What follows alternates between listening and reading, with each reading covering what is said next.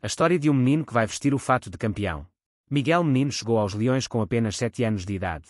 Em Alcochete cresceu, ganhou títulos, foi campeão de iniciados, conquistou estatuto entre muitas promessas leoninas, foi capitão em diversas ocasiões, e por ali foi ficando. Até aos 21 anos. Uma ligação de 14 anos que está prestes a terminar. Sem uma afirmação plena, como por certo desejava, mas com um momento que poucos têm a oportunidade de viver, sagrar-se campeão nacional pela sua equipa de sempre, o Sporting. Esta é a curta história deste talentoso médio, natural de Almada, que será premiado por Ruben Amorim com uma marcante presença que o colocará no lote de campeões, antes de um final de contrato que marcará a despedida dos Leões. Um caso que, convém lembrar, não é inédito, pois trata-se de um reconhecimento de Ruben Amorim. Agora será a vez de Miguel Menino.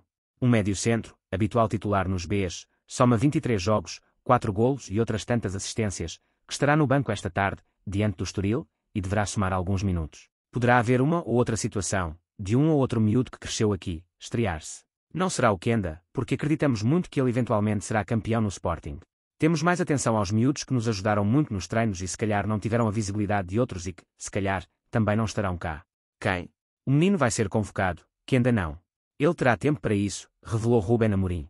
Adepto se você sofre de disfunção erétil, quer que conheça o Rino Gold Gel. Rino Gold Gel é um produto de aprimoramento masculino projetado para eliminar problemas sexuais masculinos, incluindo baixa libido, falha erétil, disfunção erétil e tamanho peniano. Deixei o link abaixo na descrição deste vídeo e fixado nos comentários. Adepto Sportingista subscreve no canal e ativa o sino das notificações para receber as principais notícias do nosso glorioso Sporting Clube.